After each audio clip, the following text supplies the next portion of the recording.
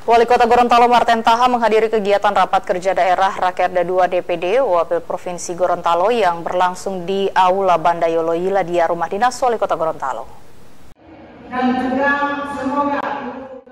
Rakerda 2 DPD Ikatan Wanita Pengusaha Indonesia IWAPI Provinsi Gorontalo dilaksanakan untuk melakukan evaluasi terhadap program yang telah dilaksanakan dan menyusun program ke depan. Rakerda 2 DPD IWAPI Provinsi Gorontalo tahun 2023 mengangkat tema meningkatkan peran perempuan di era ekonomi digital untuk pemberdayaan pengusaha perempuan. Dengan digelarnya Rakerda ini dapat memutuskan program yang diharapkan menambah semangat ibu-ibu UMKM dan perempuan binaan IWAPI yang saat ini telah mendapatkan penghargaan dari pemerintah pusat seperti undangan pemateri maupun pelatihan keterampilan bagi kelompok UMKM dalam rangka meningkatkan semangat kewirausahaan perempuan Provinsi Gorontalo.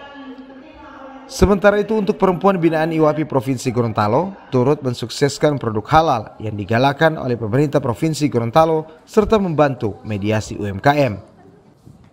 Tim Liputan Advertorial Mimosa TV